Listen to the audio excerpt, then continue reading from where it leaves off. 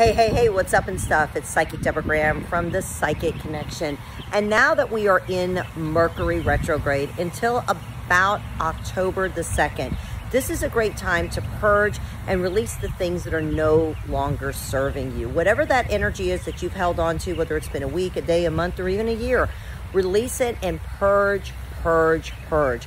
Clear your energy from the inside out. That means clear your energy in your home, in your office. Sage every single day. Use some lavender at night to help ground you. Some of us may be having a little bit more of a restless time, getting some sleep.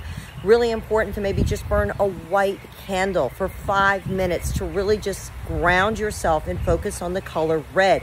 That'll actually keep your energy more grounded. So if you're noting people are being a little bit more overwhelming, people are being a little bit more bitchy and stuff, that's because Mercury's in retrograde. For those of you who do not know what Mercury retrograde means, it means that it's a time of spinning backwards. So definitely be careful and proceed with caution, but definitely root yourself, hug a tree, walk outside, get your feet in the ground.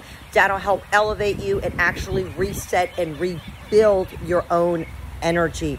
So for those of you who want to book your own one-on-one psychic reading with me, check us out at psychicdeborahgraham.com. That's psychicdeborahgraham.com and get ready to get ready. As you know, we got some good stuff getting ready to happen. Peace out.